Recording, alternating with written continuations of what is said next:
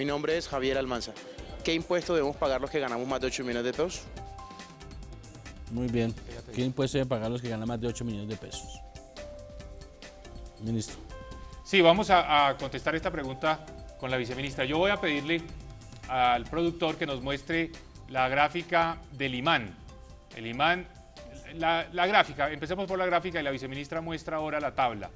La gráfica del imán es la tarifa que cómo va a tener que pagar un colombiano eh, en función de sus ingresos, no el ingreso bruto, se le descuenta el aporte que hace obligatorio a salud, el aporte que hace obligatorio a pensiones, y sobre esa base, que ya es el ingreso total menos el 8%, porque recordemos que los aportes obligatorios a salud y a pensiones son del 8%, sobre esa base mira una tarifa que es el imán, el impuesto mínimo alternativo, ese es el imán.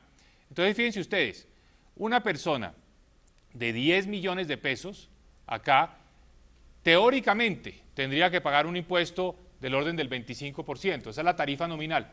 Pero lo que nosotros estamos diciendo es que hay muchos beneficios, hay muchas rentas exentas, hay muchas deducciones y que las puede aprovechar, pero que como mínimo pague lo que aparece aquí en esta tabla, que es un impuesto del 5%.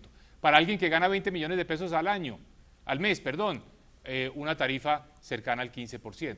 Ese es el imán, el impuesto mínimo. Entonces la persona va, mira su ingreso, le quita el aporte obligatorio a salud y a pensiones y después consulta la tabla y allí le dice cuál es el impuesto mínimo que debe pagar. No estamos hablando de unos impuestos exagerados. Fíjense, alguien que gana 30 millones de pesos en Colombia, que es un grupo realmente privilegiado, va a tener un impuesto del orden del 16, 17%, que es en todo caso mucho menos de lo que tendría, tendría que pagar si viviera en otro país. Y no hablemos de países desarrollados, hablemos de países como Brasil, donde tendría que pagar probablemente el doble. Entonces, aquí en todo caso estamos subiendo los impuestos frente a lo que están pagando hoy, pero no es exagerado ese incremento.